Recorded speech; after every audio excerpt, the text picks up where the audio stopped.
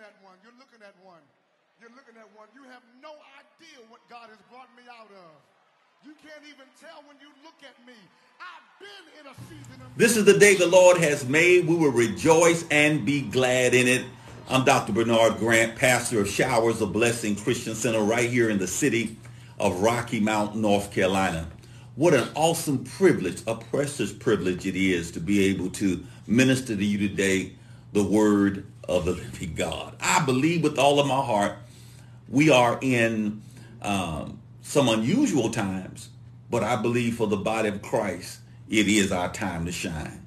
Uh, as you come on, I want you to like, I want you to share, because as I so often say, one of the best things you could do for anybody is give them the word of God because it is the incorruptible seed. It is the incorruptible seed. And as you're coming on, um, let me just talk with you a moment and we'll get into the lesson that I want to minister to you on today. I know it'll be a real blessing to you and yours. So again, I want you to like, I want you to share with as many people as possible.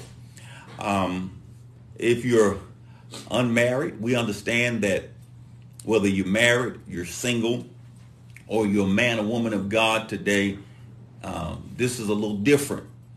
But we know that God is sovereign and we, we trust him and uh, we thank God for him. Now, uh, if, I was saying to a, a single the other day that you may be alone, but you're not lonely. Remember that. In fact, I did a message recently uh, to all of our unmarried people that you're alone, but you're not lonely. It, you know, it's good to be alone. And this is, sometimes God has to give you the gift and you have to embrace the gift of slowing down. And uh, so you may be alone, but you're not lonely if you, even if you're unmarried. Loneliness and is not being alone.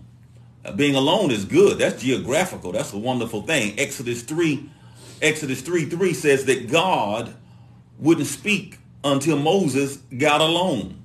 Uh, John got the book of Revelation alone on the Isle of Patmos. Paul spent three years alone.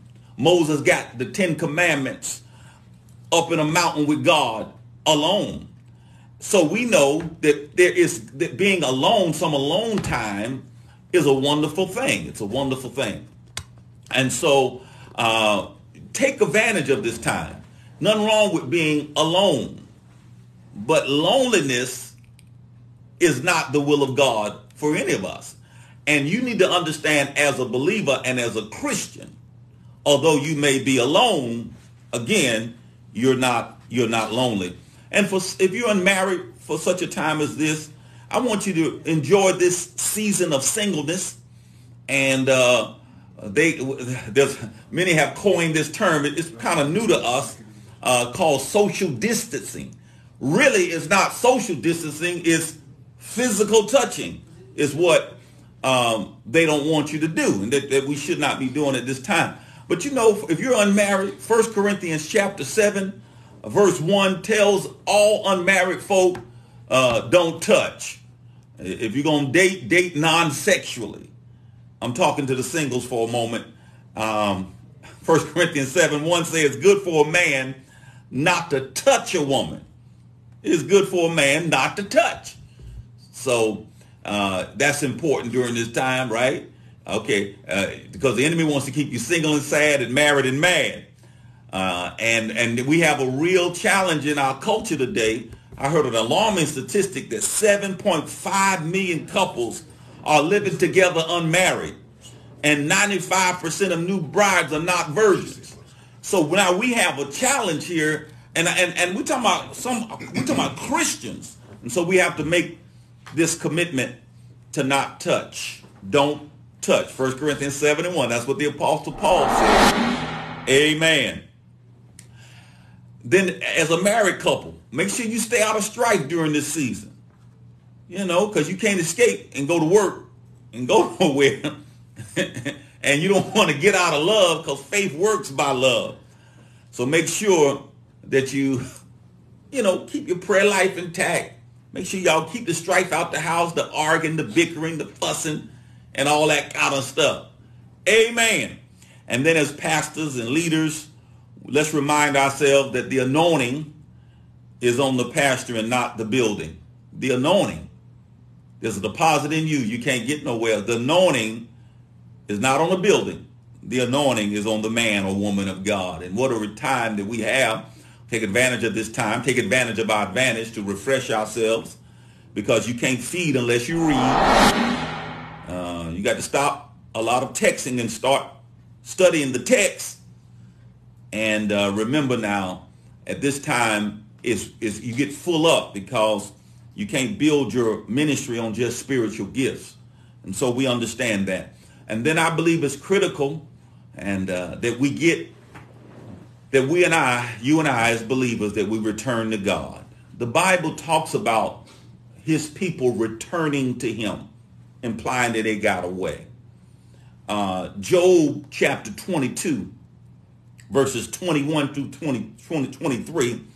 In fact, Job 22, 23 talks about how we need to get reacquainted with God and we need to re- go back. We need to return back to God.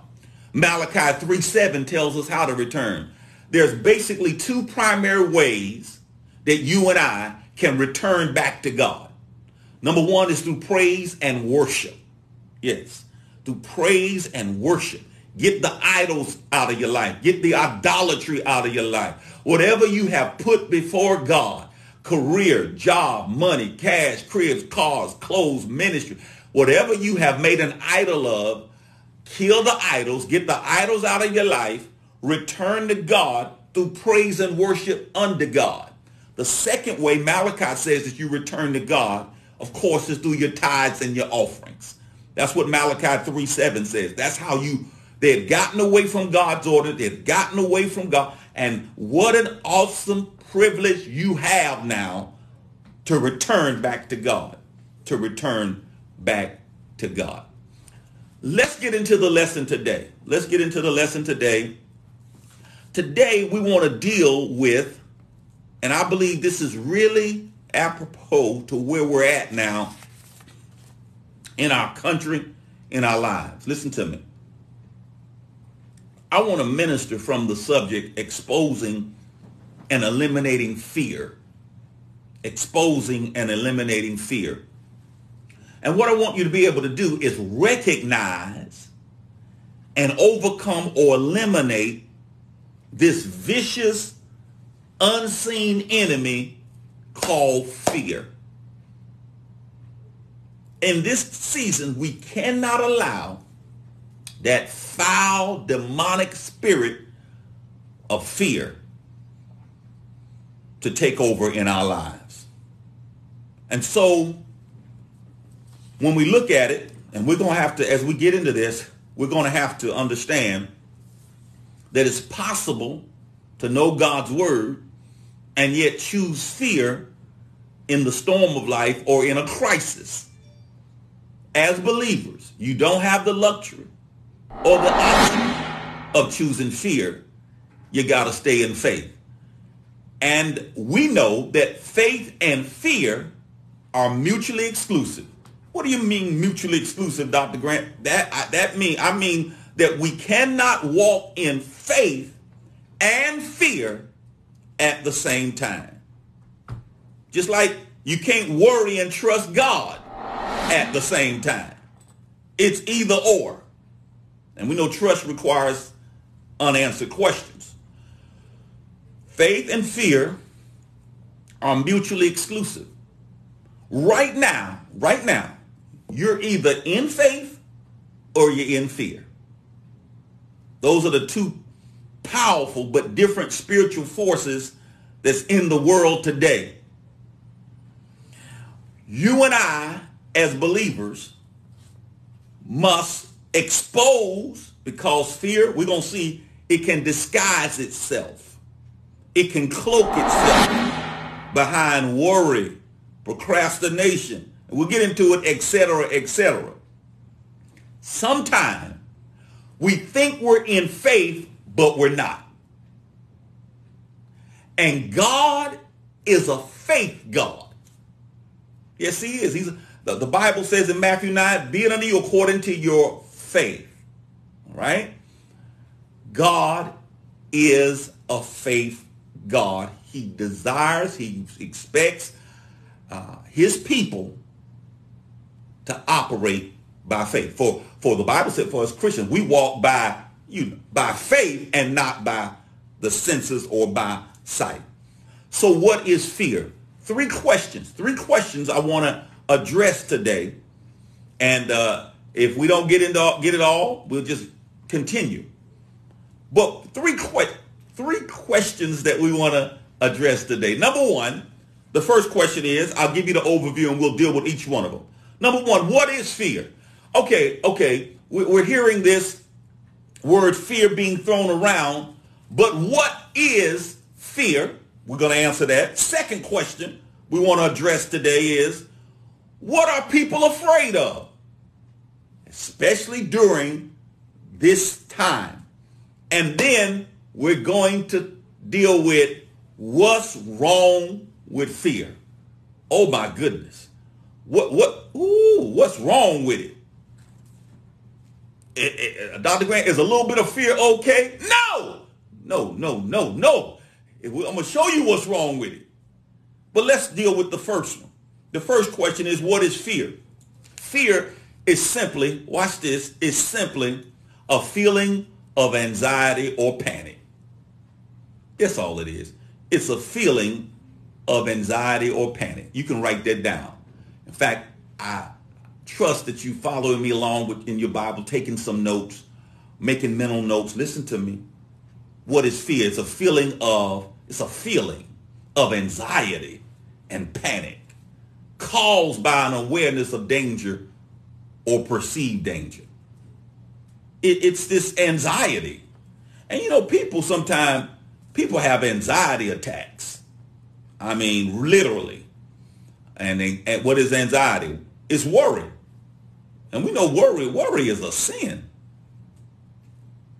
Many people don't think it's a sin, but worry, worry is a sin.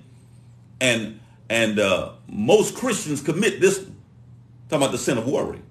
Worry is a grave digger with no sympathy. Worry is like sitting in a rocking chair. You're moving, but you're not making any progress. We're not built for worry. Another word for word, stress. It will kill you. Fear is a feeling of anxiety. Anxiety is worry, is nervousness. Watch this. Locate yourself, and so God can help. It, it, it is a feeling of, of anxiety. Anxiety, what is it? Anxiety is worry, nervousness, and uneasiness about an imminent event. What is panic? Panic, it means to act without thinking. Basically, you having a meltdown. You totally freaking out. That's, that's, that's what's behind uh, the panic buying. People making a run on stuff. People fighting in stores, stealing stuff in other folk carts at the grocery store. Uh, stealing toilet paper from public restrooms. I mean, this is panic. I mean, I mean, look, people buying guns, people hoarding, uh, all of this stuff is simply a result of panicking. As believers, we don't panic, we pray. But but it's real. We're not in denial. So now, another definition of fear. What is fear? Fear is a negative expectation or outlook. Now listen to me. Listen. What are you expecting right now? What is your outlook? On life? Are you expecting to lose money, to lose your job? Uh, because what you expect, you will experience eventually. Are you expecting to lose your life or the life of a loved one? I don't know about you, but I'm expecting, boy, when all the when the dust settles, all this is, I'm expecting new growth, new anointing, fresh oil, fresh power. I'm, I think God, this thing going to explode. God, something's about to happen. There was a, a, a Baptist preacher, uh, Leo Daniels, preached a message one time entitled, What in Hell Do You Want? You know, uh, we have to understand the times that we live in. And there's a real heaven to gain and a real hell to shun. And we as believers got the answer. And his name is Jesus. Oh my goodness. So we've answered the question, what is fear? The second question is what are people afraid of? What are people afraid of? Relative to this season and this time that we're living in. There are four basic things that got some folk up at night, pulling their hair out and biting their nails. Upset stomach, stressed out. Four basic things. And we're not in the now. What I'm saying to these four basic things is real. Don't be judgmental. People dealing with stuff. Four basic things. Number one, there is they are afraid of the unknown. That's part of what drives the anxiety. Unknown. The unknown. What do you mean? The unknown. A lack of information. Without information, people just fill in the gaps, start imagining the worst. There's a lack of knowledge about this virus itself. There's a lack of knowledge about those who are affected. There's a lack of knowledge about the pervasiveness and the severity of the virus in America. People talk about, you know, they need more testing. There's a, there's an unknown element on how long this will last. Nobody's quite certain. You know, they try to put, you know, 15 days, four months. Oh, people are not, they don't know. So there's a fear of the unknown. We as believers know that trusting God requires unanswered questions. That you have to learn to trust God at the not knowing level. Trembling but trusting. The second thing that people are afraid of is the fear of inadequacy. Inadequacy of the preventive me measures. In other words, am I, am I doing enough? You wash your hands, but is that, are you doing enough with that? You know, you don't touch your face, no hugs, no kisses, no handshakes, but is that enough? The inadequacy of preparedness. Is our government really prepared? Are there enough face masks, ventilators? Am I really prepared? These are questions we're asking. People are asking, what are people afraid of? The inadequacy. Do I have an, an, the inadequacy of preparedness? Am I prepared? I got a, okay, you got a two week supply of food and medicine, but do I have enough groceries to last? And then the third one, and I'm going to deal with this for a moment, and that's the fear of shortage. I'm answering the question now. We answered the question, what is fear? Now we're answering the question, what, the second question is, what are people afraid of. People are afraid. They, they fear. They're afraid of the unknown. There is the fear, secondly, of inadequacy. And thirdly, there is the fear of shortage. The fear of shortage. Now we're dealing with this money issue. Okay? Satan, relative to believers, Satan ultimately wants to cut off the supply line so the troops won't have what they need to win the war. And so there is this fear of shortage. We're talking materially and financially now. Listen to me. A recent USA Today poll found that Americans are more worried about finances than their own health. Now, they're worried about their health. They're concerned, I should say, about their health. But they're more concerned, this is what the poll said, in the wealthiest nation in the world, more Americans are worried about their finances than their own health. They're more concerned about the economy. Listen, the stock market, are you? Their paychecks. Will they be able to make it? If they have a small business, uh, how long can we hold out? Now, again, and it's going to get real in a moment as we approach the first of the month. Because mo for most people, to be most people, the only thing that's changed right now is their social life. Their money ain't changed right now. Not yet. But it is. Things are going to be real. And people are people there is this fear of of shortage. People are concerned. So that some people are hoarding because of this fear of shortage. There, there's a fear uh, of their own personal financial stability, a possible job loss, possibly a plant shutting down or, or the small business shutting down. And people have a fear of shortage. But let me talk to you today, and I and I, I, I listen to me. What I'm about to share with you, I believe will see you through any financial difficulties and challenges in your life. Okay? So follow me closely. Follow me closely because God I found out that God is such a loving God. God is concerned about what you're concerned about. In other words, he's concerned. He, he knows what you have need of. And he's your daddy. And God will never be guilty of non-support. So he has a word for you. And, and, and, and I, I'm, I'm going to spend the rest of my time here today. We'll get into what's wrong with fear, how that Satan uses fear to torment a person's mind, that fear is the material that Satan uses to create an explosive device to destroy your life. We're going to deal with that because Job said it himself. Job said, Job 325, the thing which I greatly feared is come upon me.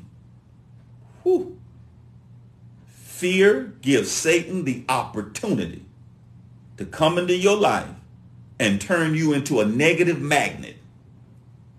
Things that you don't want to happen things that you don't desire to happen, fear will bring that stuff in your life.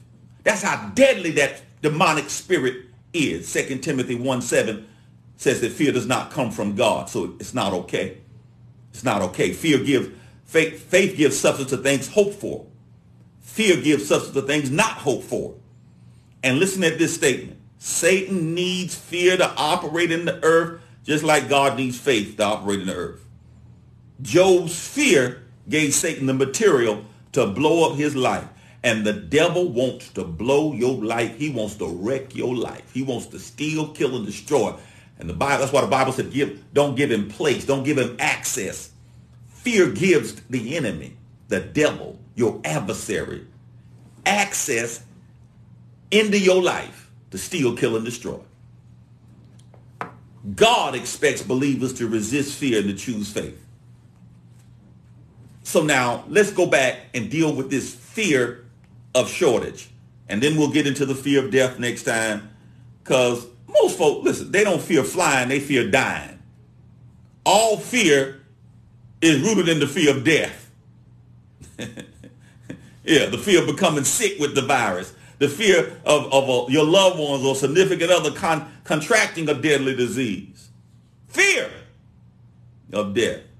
I'll deal with that. I, am going to show you how to eliminate that altogether out of your life. If you're a Christian, nobody can threaten you with death. My God, absent from the body, present with the Lord. I'll show you how to deal with that. But let's go back and stick a pin in this area of the fear of shortage. Remember now, we said, what are people afraid of? They're, they're afraid. There's the fear of the unknown, the fear of inadequacy. Watch this. Thirdly, the fear of shortage. And fourth of all, the fear of death let's stick a pin in this area of the fear of shortage. Let's go now to 1 Kings chapter 17. Now follow me closely. 1 Kings chapter 17. Because fear is a tactic and strategy of the enemy to hinder you from moving forward. To hinder you from moving forward.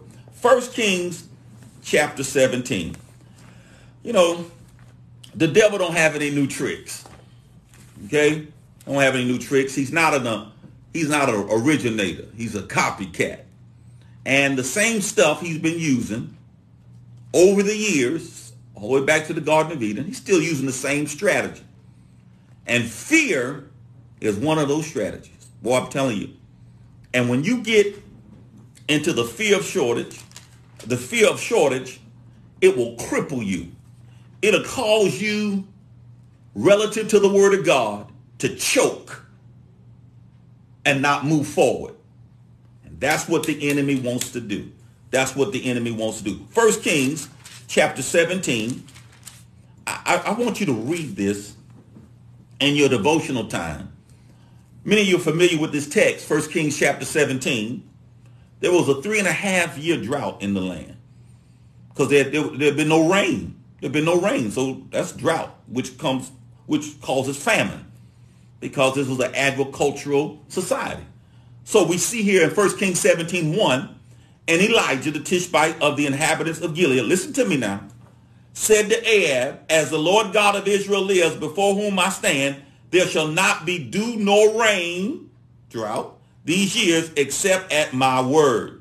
Then the word of the Lord came to him saying, get away from here, turn eastward, got to follow the instructions, and hide by the brook Cherith, which flows into the Jordan, and it will be that you shall drink from the brook. I have commanded the ravens to feed you there. That's supernatural provision. Verse number five. So he went and did according to the word of the Lord. For he went and stayed by the brook Cherith, which flows into the Jordan. The ravens brought him bread and meat in the morning, and bread and meat in the evening. And he drank from the brook. And it happened after a while that the brook dried up. He didn't do nothing wrong. Challenge of the time. Brook dried up because there had been no rain in the land. We're not in heaven yet. Whatever impacts the, the, the society, it impacts us too. But watch this. we got supernatural help. Look at verse 8. Then the word of the Lord came to him saying, Arise, go to Zarephath, which belonged to Zidon, and dwell there. See, I've commanded a widow woman there to provide for you. So being in your set place under the right pastor, that's who God, Jeremiah 3.15, the pastor that God has chosen for you to be under is critical. He says, there. So he arose and went to Zarephath. And when he came to the gate of the city, indeed a widow was there gathering sticks. He called to her and said, please bring me a little water in the cup that I may drink. And as she was going to get it, he called to her and said, please bring me a morsel of bread in your hand. So she said, and the Lord your God, as the Lord your God lives, do I do not, she I do not have, I do not have bread, only a handful of flour in a bin, and a little oil in a jar. And see, I've gathered a couple of sticks that I may go in and prepare for myself and my son that we may eat it and die. Her plan was eat and die. So technically, she's on death row. She's going to eat the last meal and die. But God's got a better plan. Verse 13. And Elijah said to her, watch this. Elijah said to her, verse 13, do not fear. I'm saying to you right now, do not fear. Don't fear lack. Don't fear scarcity. The man of God was living a supernatural life. And this woman is going to plug in to this supernatural life that this man of God is living. She's going to start living supernaturally. Watch this. And Elijah said to her, do not fear. Go and do as you have said, but make me a small cake from it first. First and bring it to me. And afterward make some for yourself and your son. For thus says the Lord God of Israel, the bin of flour shall not be used up, nor shall the jar of oil run dry until the day the Lord sends rain on the earth. And she went, she obeyed, she went away and did according to the word of Elijah. And she and he and her household ate for many days. The bin of flour was not used up, nor did the jar of oil run dry, according to the word of the Lord, which he spake or spoke by Elijah. Woo. We see here this woman literally on death row had already been instructed by God what to do. She knew what to do.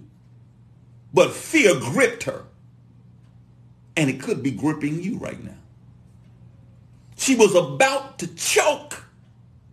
And the man of God, thank God for a man of God. Thank God for man or woman of God. Thank God for preachers who will just preach the unadulterated not watered down, not sugar-coated version of this Bible that will take the criticism or whatever and minister to the people of God to tell them what thus saith the Lord, to tell them God's way.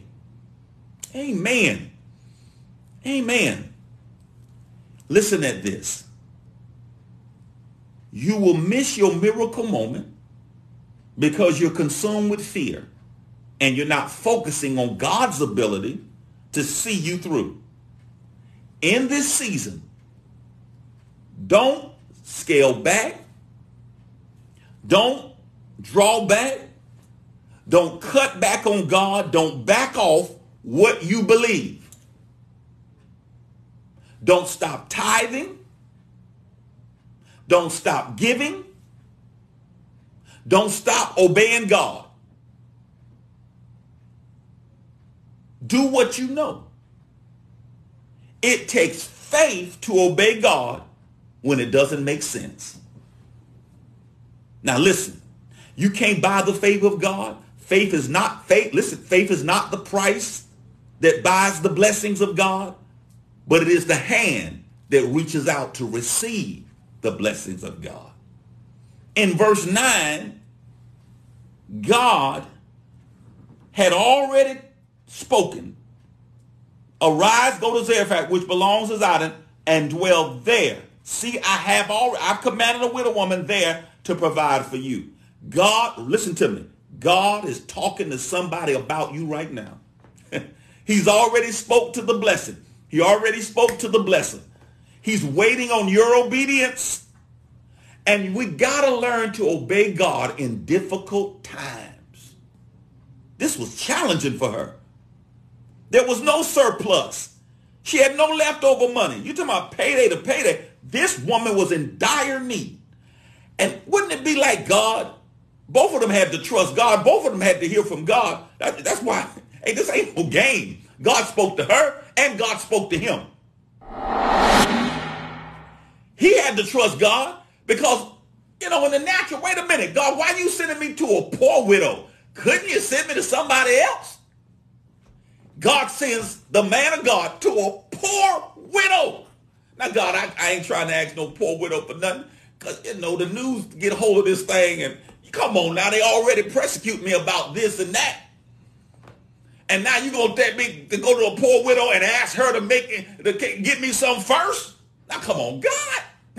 and then she going to have to trust God. He already spoke to her. But listen to me. God is waiting on your obedience. God's got to talk. When it comes to some people, God will meet you at the Listen, God's got to talk to your husband and children. You can't change them. God meets you at the point of your obedience. It'll work if you work it. Now, listen at this. In St. John chapter 6, verses 1 through 14, I want you to read that. There is a demand for which there is no apparent supply.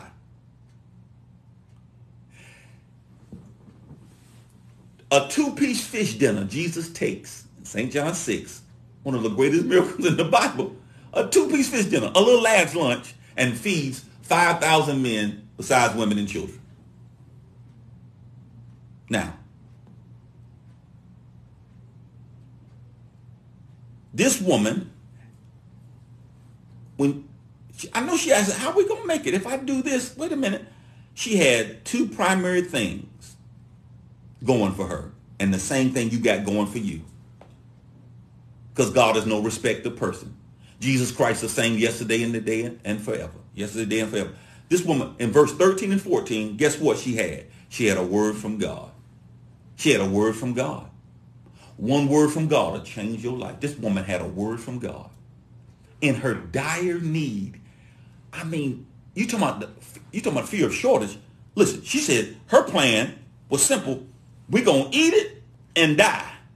God's plan was sow it and live. She had a word from God. And then verse 15 lets us know she had a willingness to obey. You talking about some precious seed. Some precious seed. if you'll continually act out on God's word in the crisis, in this season, this these times will be the greatest times of your life. She had a willing, she had a willingness to obey. The Bible said, verse 6, so she went away and did according to the word of Elijah. She did it. She did it. Trembling but trusting. And I'm telling you right now, obedience will always require the sowing of a significant seed. This woman began to live as the man of God lived supernaturally. Don't mess up your future season. Don't draw back. Don't choke. Because I found out a long time ago that tithes and offerings is how you make a deposit into your heavenly bank account. Don't choke. What is choking? Choking is a deliberating moment in time when you are considering doing wrong. For you unmarried folk, you either single and satisfied or you're single and sinning. You're considering doing wrong. You, uh, you, it's a deliberating moment of time when you're uh, compromising, considering compromise, considering doing something other than the will of God, considering doing something other than what God told you to do, or you're considering doing something you said you would never do. Whew. Listen at this. My giving supports the kingdom of God because the gospel is free, but the pipeline costs a lot of money.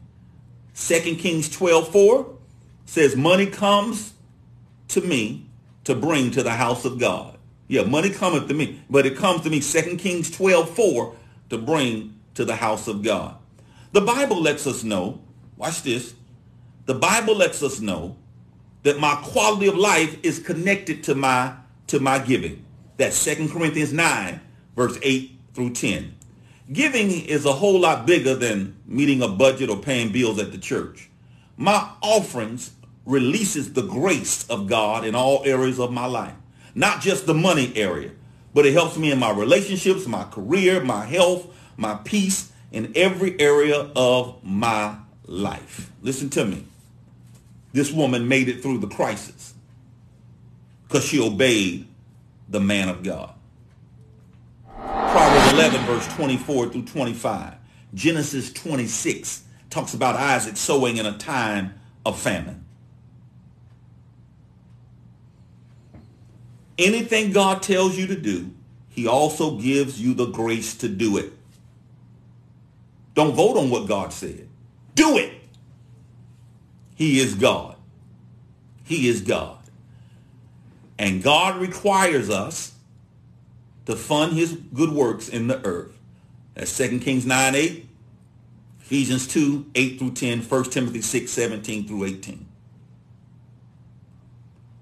This fear of shortage can grip you if you don't stay focused on the word of God.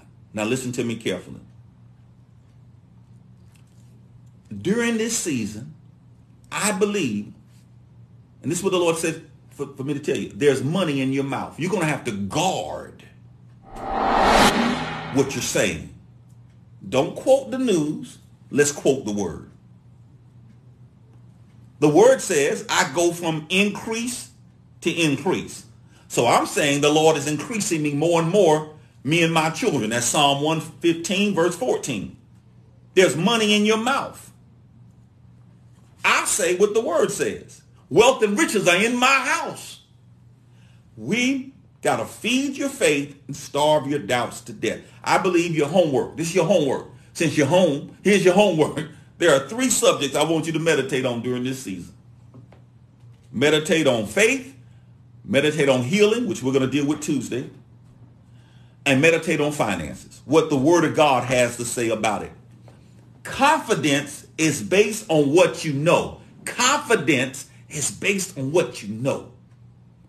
The reason I'm not nervous, the reason I'm not, listen to me, the reason that I'm excited about what God is doing and what God is up to is because I, of what I know what I know about God. And I've seen him do it over and over again. Don't you choke in this season. And nobody, nobody's exempt from the from the uh, temptation of choking. Even Jesus. Yeah, even Jesus. You read it, Matthew chapter 26, verse 39. Matthew 26, 39. Even Jesus had to, had his choking moment. He had to get past it. He had to say, nevertheless, not my will, but thy will be done. Amen. This is the season where you stick with the word of God and God will see you through big time. Let me pray with you right now. Father, in the name of Jesus, I thank you for my brother and I thank you for my sister. Thank you for this time together around your word. I rebuke the spirit of fear, the fear of the unknown, the fear of inadequacy, the fear of shortage and the fear of death. I come against it now in the name of Jesus. And I thank you, Lord God, that although we may feel fear, we won't act on it. We'll continue to act and they will continue to act out on your word in Jesus' name. And so this Sunday, I want to give you an opportunity to sow good seed in the good ground. There's only two ways to give to God. There's only two ways. And that's through anointed men and ministries. This ministry is good, good ground. We have, we, we're not new to this, we're true to this. We have a proven track record of excellence. And I believe that by you sowing into this ground, you'll never go wrong. I, I'm just telling you. Uh, there are five ways that you can give to us uh, today, to give to this ministry. And uh, of course, we have a cash app. Uh, somebody type that in if it's not already. We have a cash app. The dollar sign showers a blessing. Of course, you can mail your, your, your money in 1740 East Raleigh Boulevard, Rocky Mount, North Carolina, 27801. Or you can use the P.O. Box. We got a P.O. Box, P.O. Box 2916, Rocky Mount, North Carolina, 27802. So you can mail it in. Or you could go to Secure Give. You could also go to our website, showersofblessing.org. Or for those of you locally or in the area, whether you're infield Tar, uh, wherever you're at, Raleigh, I don't know where you at. Where you you can come by the church at 1740, and we have a drop box on the admin side, and you can just drive through, get out the car, drop it in, and keep moving. So those basically during this season is the five ways that you can give. Again, Cash App, mail, Secure Give, our website, or our drop box where you drive through and drop your seed in the ground. And for you members, of course, we have a very mature church, spiritually mature. You you know, just because you don't show up in the building, you, that, that don't exempt you from from tithing uh, and giving. So we bring our tithes and offerings, and so these are the ways that you can do it during this season. Look, stay with the word, stay out of fear, be encouraged. Know that Pastor Dr. Bernard Grant is praying for you. I'm praying for you. Uh, I, I, we're, we're praying for all those in authority. We're believing God that this is the time. I believe with all of my heart. This is what the Bible says that it calls it the evil day. This is the time where you act out on what you believe. We don't back off from what we believe. But we do the word, watch this, even in difficult times. And God will give us the grace, the ability to continue and to move forward. We're gonna be, we're gonna, we're gonna show the world. Listen, we're the salt of the earth, we're the light of the world, we're the leaders. We're gonna have poise, we're gonna have confidence. We're not going to freak out during this season. We're gonna see the hand of God in a greater way. And I promise you, listen to me, you stay with the word when the dust settles, you're going to be better, stronger. Any losses, God's going to compensate you for it. He's going to restore all. You go, listen to me. You will recover all. Ain't how your story ends. God never ends on a negative. He always ends on a positive. And Jesus is coming back for a glorious church without spot or wrinkle. I'm glad. I'm glad to be in the number. I'm so glad. Listen to me. I, I, I text one pastor and, and told another that, look, you were born for this, for such a time as this. Amen. God has equipped you. You're ready. You got what it takes. It's in you. Now let's go forth. Let's stick with the word. Let's stay together and continue to act out on the word of the living God. Love you. God bless you. We'll see you next time.